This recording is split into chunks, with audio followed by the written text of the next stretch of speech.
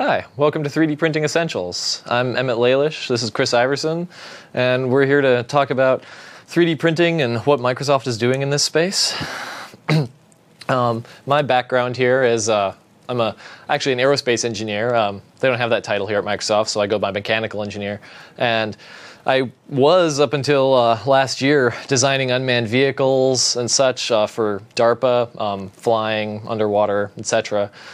But uh, as a hobby, for the last few years, I've been designing 3D printed things and, and 3D printing and in my home just as a as a consumer, and that has been really fun. And it led me eventually to meet uh, Chris Iverson and the team here at Microsoft, uh, who uh, hired me, and I've actually joined in the team. Um, so now I'm actually helping to uh, guide that process and figure out exactly how we're going to make 3D printing easier for everyone. Great, yeah. I love working with Emmett. Uh, so I'm Chris Iverson. I'm a software design engineer at Microsoft, uh, and I lead the development team responsible for 3D printing uh, and the innovation that we're sticking in, the, in Windows. Uh, Emmett and I both work in a group called the Operating Systems Group, uh, and we're really looking at how 3D printing is done at Microsoft uh, and adding innovation into all our, our products across the company. So today we have uh, broken out for you a bunch of course topics. We're going to do an overview of 3D printing. Uh, we'll talk in depth about the, the, hardware that we support and, and you know, exactly how it works and, and show you uh, how to set up a printer and calibrate it and all the kind of messy stuff that goes with 3D printing. We'll talk about 3D printing software that you can use uh, and uh, also our model repair service, which is a very important, important feature that we recently added uh, into our portfolio to make it possible to print any kind of uh, 3D model, well, I shouldn't say any kind, but 3D models that you would find on the internet. Uh, it makes them, uh, uh it makes them avail- uh, ready for 3D printing and successful. We'll do an end-to-end 3D print for you and show the full printing process. and we'll put that on camera, and you can get. Hope, maybe we'll make a mistake or two, and you can kind of see what the what the real consumer experience looks like today. And I also brought a Kinect camera here, a Kinect sensor, and we'll try to show you Kinect Fusion and how you can create a scan and import that thing into our 3D Builder application uh, and do some really fun stuff with it. And then, of course, Emmett is a, a, preeminent designer of 3D models on the internet, and we're going to go through a bunch of his designs and let him talk about how you need, you know, what things you need to think about when you design a model uh, to be 3D printed. And we'll show a bunch of these examples that he's got, these really cool ideas he's got here on the table. Uh, and then we also want to share with you some opportunities uh, that we see uh, at Microsoft uh, that you can take advantage of in, in this 3D printing space around Windows apps and any other opportunities that we think we're uncovering with our work. So now we're going to talk about basically we're looking for you know talking to everyone here i mean a lot of you are engineers some of you are designers programmers um, hobbyists like i was and am. Um, kids, of course, we were in, all of you have some interest, hopefully, in 3D printing, and certainly 3D printing has uh, opportunities for, for, for everyone in these categories and such. Um, so. yeah, so I mean, I think 3D printing is one uh, area that really crosses all different kinds of, of job titles and trades, and you know, whether you're a designer or a, uh, an engineer, somebody that, that works with 3D models on a daily basis, you'll find this to be a new and interesting tool to get work done. So uh, we're, you know, we want to show you today a bunch of the things that you can do with uh, 3D printing, and I hope that uh, no matter what you do, you find this to be an interesting talk, and you can find a use for this in your in your workshop. So let's just start out with a quick overview of 3D printing. Yeah, so we have this ability to create things, which is pretty amazing. So this is uh, actually a coworker of ours who was scanned um, with a with a high-end laser scanner, and we've got a very highly accurate mesh 3D model of his bust. Um, and then basically, you can just take this and print it and make a likeness in in really with very little difficulty. Um, and we're going to talk about basically the process behind all of this and uh, what makes this possible. So what is what is that thing on the right uh, there, what, what is that? Uh, what is that material that, that that's sort of materialized into? So this, I believe, is a print in ABS, um, which is the same kind of plastic as like Legos and drain pipes and such are made of. It's a nice, strong plastic. Um, there's a number of others that we use as well, um, like PLA is a biodegradable um, polylactic acid plastic. There's many other things you can potentially print in. These are sort of the most common ones um, at home for these uh, sort of consumer level 3D printers. So how, how big is that actual object on the right? I recall it being about two inches tall.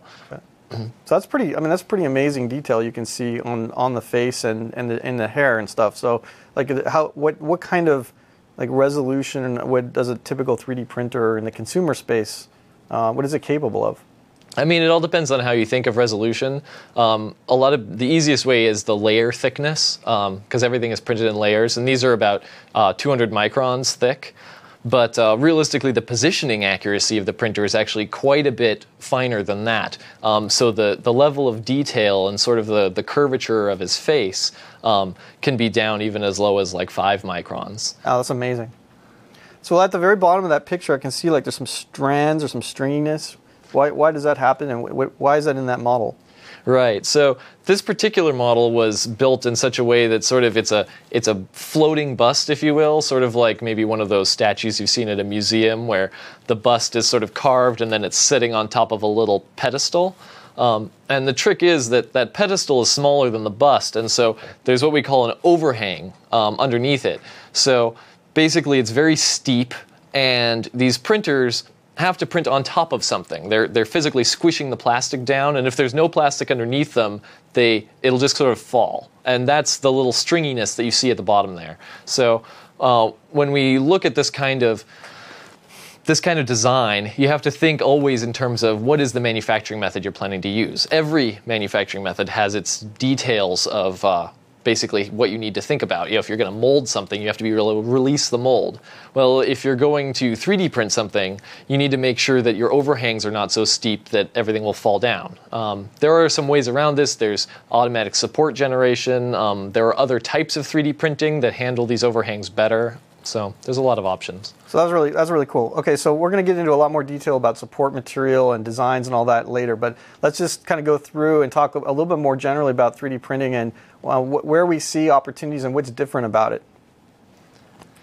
Yeah. So I mean, here's the additive manufacturing process, and it's really different. Um, you know, what we're showing on the left is basically this is how manufacturing was, as it's how it's traditionally been. When you think of injection molding, when you think of um, maybe uh, machining parts and that kind of thing, the the basic idea is in order to make it cost effective, you have to make a lot of something. You have to turn it into assembly line and be able to create thousands or hundreds of thousands to make it feasible. Um, so that standardization is is really important. Whereas in 3D printing with additive manufacturing, you can just uh, basically making one of something is the same price as making 10,000 um, per object. So it suddenly means it's feasible to actually make single things, exactly what you need at a time.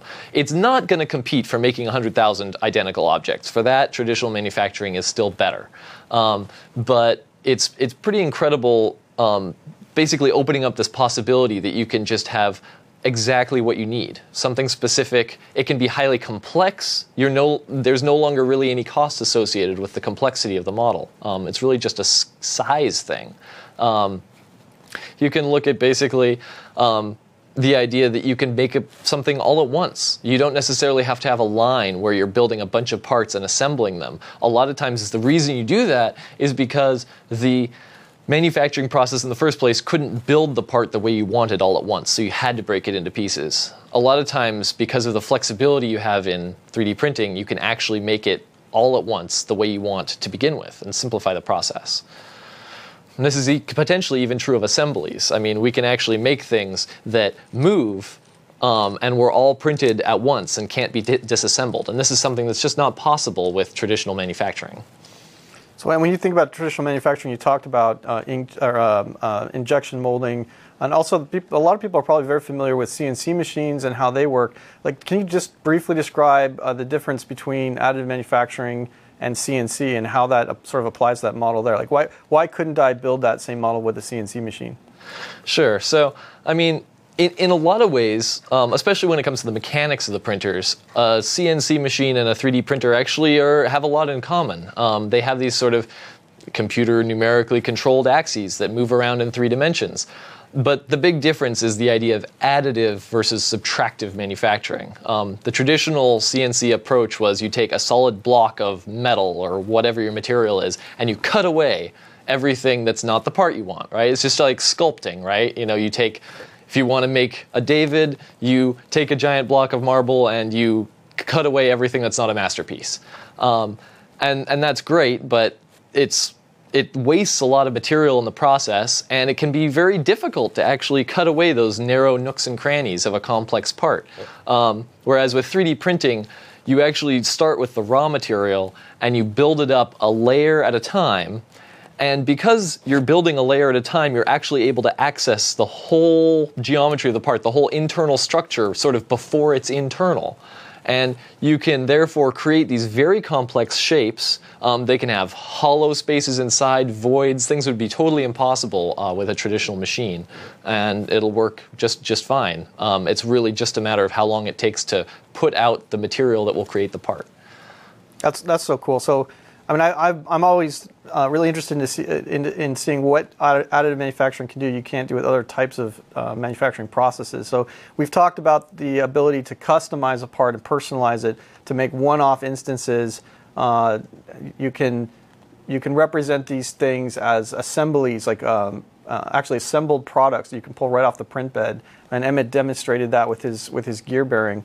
Uh, and this is also excellent for small run production. But you, you know, you mentioned that you couldn't do large scale manufacturing with 3D printing. Is that is that true? I mean, uh, is there no place right now? Do you, do you think for uh, for doing an actual final product at, at scale using a 3D printer? There, there are absolutely places. Um, they are somewhat unique places. Uh, again, it's generally not going to be the case where you're going to want to make 100,000 of something with 3D printing. Um, but there are a lot of cases where things are, for instance, not quite so huge of production runs. Uh, I mean, I'm from the aerospace industry, right? We build aircraft. Sure, we have assembly lines, but we're not building hundreds of thousands of them usually. We'd, we'd love to, but it's just, there's not that many. and so sometimes you can look at basically doing uh, parts of actual jet engines, and you can build them directly out of uh, the proper kind of metal that you need um, for a really complex, difficult geometry. And simply because you can create a part that's more complex um, than you could machine any other way, it's worth it to be able to actually, e- even though it takes you know quite a while to create this part, it's still you can do a better job. It can be more accurate. It can be more optimized. And that's a really powerful thing for manufacturing. So yeah so i love this concept. You, are sitting at your desk and you're iterating on a design. Maybe you, you work for a big manufacturing company uh, on an airline or a car uh, or automobile or something. So you're, you're actually using an inexpensive 3d printer to get your job done and try the part out uh, right there uh, on your workstation and then when you're ready, you know, our you know, sort of Microsoft's vision here is that you can take that part uh, and you can send it to a commercial fabrication uh, process. That may be a 3D printer or it might be uh, some other traditional fabrication process. And Emmett actually is holding a really cool print. This is probably my, my favorite print uh, that I've seen this year. Uh, we, you, can start, you can see we started with a 3D model. Uh, we then printed it uh, in plastic, we're just using an inexpensive desktop printer. And then uh, Emmett has uh, has great connections in the industry and was able to get this part printed on a very high-end um, metal printer. So that's right. So this is, I mean, this was using a metal a metal sintering machine. So you know, we start with plastic. This is the kind of thing I'm making on my desktop for you know a machine that costs next to next to nothing compared to this. I mean, this is orders of magnitude more cost. Um, for the for the machine, but it also allows us to make this same part out of you know a cobalt chromium superalloy. Um, you know, one of the most heat resistant, wear resistant kinds of material that we've ever created. Um, this is the kind of stuff that you can put into a jet engine and expect it to survive in those kinds of conditions. Um, so it, the the idea of rapid prototyping is a is a huge part of 3D printing because prototypes are sort of by definition short run. You just want to try one and see if it's what you want. I mean, you're not actually talking about rapid prototyping in this case. You actually printed a, a part that we think could be put in a final assembly. So that's exactly right. But I prototyped it first. Yeah, right. And so that's that's the real beauty. So that's really cool. I know uh, I talked to partners of Microsoft, uh, and I know there's a lot of excitement in the manufacturing industry uh, for uh, this idea of the iteration at your desk, the the ability for an engineer to have one of these inexpensive printers, uh, so they can unlock their uh, you know their design process and their, and their, creativity to get their job done. And they guarantee, well, they more or less guarantee that that part that they're working on is very precise, is exactly the part they need. And then they can send it off to a production run, rather it, whether it's through uh, a 3D printer or to some other fabrication process, they can get that exact part that they were looking for. They know that it's going to meet their specifications. So that's a really important piece of what Microsoft is interested in here, is really connecting that inexpensive printer to the corporate or commercial printers, uh, which probably most consumers and most even most employers will not be able to afford those high-end um, devices to get the, like the metal that Emmett showed. But we're, we're going to try to make it possible for you to send that model out to a place where you can get that done. So just to summarize, you know, we just gave you a quick overview of, of, some of our thoughts in 3D printing, uh, and uh, get, and gave a, a little taste of some of the important areas that we're focused on and, and some of the problems in this space. And uh, next, we're going to really just take a look at the hardware. And, and, again, we're mostly focused here on the consumer hardware devices, the kinds of things that you would access that you would have available in your home. And uh, we're going to go through and show you kind of the anatomy of the hardware and uh, help you familiarize yourself with how to set one of these things up so that you can print to it.